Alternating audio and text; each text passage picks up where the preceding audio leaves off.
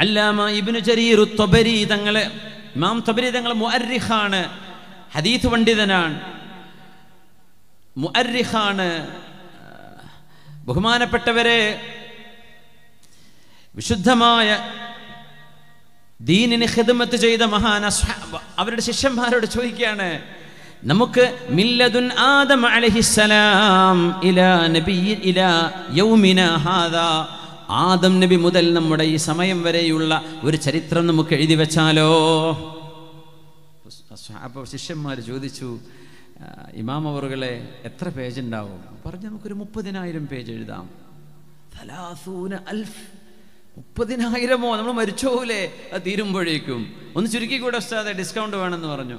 എന്നാൽ പിന്നെ നമുക്കൊരു മൂവായിരം പേജിൽ എഴുതാം. നോക്കണേ ആ മഹാ ആ അന്നങ്ങാന ശിഷ്യന്മാർ ഐക്കോട്ടെ ഉസ്താദെ എന്ന് പറഞ്ഞിരുന്നെങ്കിൽ ഒരുപാട് ചരിത്രം നമുക്ക് ലഭിക്കുമായിരുന്നു. അത് മുഖ്തസറായി മൂവായിരം പേജിൽ ഒതുക്കി. മൂവായിരം പേജ്. സുബ്ഹാനല്ലാ താരീഖു തൊബരിയാണത്. ഇമാം തൊബരി തങ്ങളുടെ താരീഖാണത്. യാ അല്ലാ അത്രമേൽ മഹാൻ പറഞ്ഞു മാത്തത്തിൽ ഹിമം. ഇന്നത്തെ വിദ്യാർത്ഥികൾക്കൊന്നും മനക്കരുത്തില്ലല്ലേ? മുപ്പതിനായിരം എഴുതാൻ പറ്റുമോ എന്ന് ചോദിക്കുമ്പോൾ പറ്റില്ല എന്ന് പറയാണല്ലേ? മാത്തത്തിൽ ഹിമം ഡിറ്റർമിനേഷൻ ഹാസ് ഡൈഡ് മരിച്ചിരിക്കുന്നു മനുഷ്യന്റെ ഹിമ്മത്ത് എന്ന് മഹാനവറുകൾ. സുഹാന ജല്ല ജലാലു. നമുക്ക് ടൈപ്പ് ചെയ്യാൻ വരെ പറ്റുന്നില്ല ഇപ്പം അത്ര. എത്രയെല്ലാം സൗകര്യങ്ങളുണ്ടല്ലേ? ദാവൂദ് ലാഹിരി നമ്മളൊക്കെ ഫിഖ് പറയുമ്പോൾ മഹാനവരുടെ മധബിനെ സംബന്ധിച്ച് പഠിക്കാറുണ്ട്. ദാവൂദ് ലാഹിരി നിങ്ങളുടെ അവരുടെ ശിഷ്യനാണ് എന്ന് പറയാം.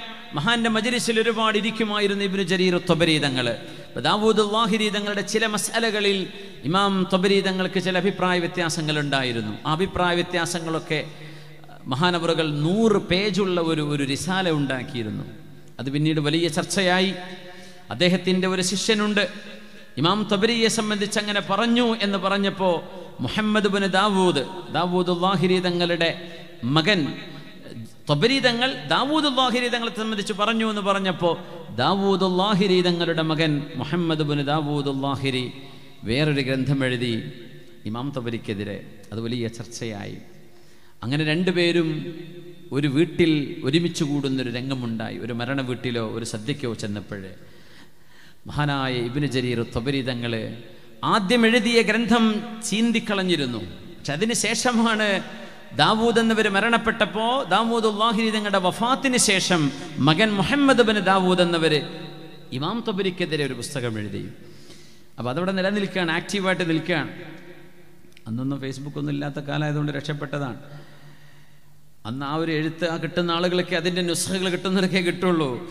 അങ്ങനെ രണ്ടുപേരും ഒരു കല്യാണ വീട്ടിൽ ഒരു ഒരു വീട്ടിൽ ഒരുമിച്ച് കൂടിയപ്പോൾ മഹാനായ ഇബിന് ജരീർ തൊബരി തങ്ങൾക്കറിയാം തന്നെ നിശിതമായി വിമർശിച്ച ആളാണ് ഇദ്ദേഹമെന്ന്. അങ്ങനത്തെ ഒരാളെ കണ്ടുമുട്ടുമ്പോൾ എന്താ ചെയ്യേണ്ടത്? ഇതിന് ഉലമാന്റെ ഒരു സീറുണ്ട്. ഉലമാന്റെ ഒരു ഒരു നമൂതജുണ്ട് നമ്മൾ തോന്നിയ പോലെ നമുക്ക് ചെയ്യാൻ പറ്റില്ല അവരെന്താണ് ചെയ്തത്? അതിനെ പിൻപറ്റുകയേ നമുക്ക് പാടുള്ളൂ. ദാവൂദ് ലാഹിരി തങ്ങളുടെ മകൻ മുഹമ്മദ് ബുന് ദാവൂദ് ലാഹിരി അവിടെ വന്നപ്പോഴേ ഇബി- ഇബിന് ജരീർ മുഹമ്മദ് ബുന് ജരീർ തൊബരി തങ്ങൾ എഴുന്നേറ്റ് നിന്ന് ആ മനുഷ്യനെ സ്വീകരിച്ച് കൈകൊടുത്ത് കെട്ടിപ്പിടിച്ചു. നന്നായി വർത്തമാനം പറഞ്ഞു. അത് കഴിഞ്ഞിട്ട് വീട്ടിലേക്ക് ചെന്ന ഉടനെ മുഹമ്മദ് ബിൻ ദാവൂദ് ലാഹിരി ചെയ്തത് താൻ എഴുതി വെച്ച ആ റിസാല മുഴുവൻ ചിന്തിക്കളഞ്ഞതാണ്. അതിന് കാരണം മുഹമ്മദ് ബിൻ ജരീർ തൊബരിയുടെ സൽസ്വഭാവമാണ്. ഇങ്ങനെ ഒരു മനുഷ്യൻ പെരുമാറുമോ? തന്നോട് ശത്രുതയുള്ള ഒരാൾ തന്നെ വൈരാഗ്യത്തോടെ കാണുന്ന ഒരാൾ തന്നെ വിമർശിക്കുന്ന ഒരാൾ. ആ ഒരു മനുഷ്യനോട് ഇങ്ങനെ പെരുമാറാൻ എങ്ങനെ കഴിഞ്ഞു? അതിന്റെ പേരിൽ മഹാനായ തൊബരി ഇമാമിനെതിരെ ചെയ്ത സർവ വിമർശനങ്ങളും മുഹമ്മദ് ബുൻ ദാവൂദ് എന്നവരെ ചിന്തിക്കളഞ്ഞു എന്നാണ്.